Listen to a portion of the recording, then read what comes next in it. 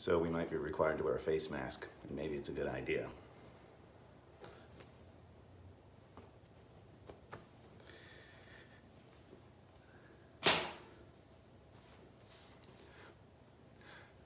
I didn't invent this. I saw it on the internet. I'm only repeating it for your benefit.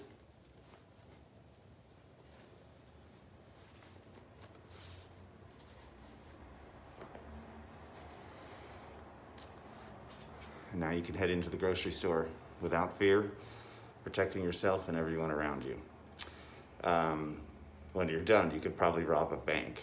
Uh, but it's worth a try. Wash your hands too. Stay safe.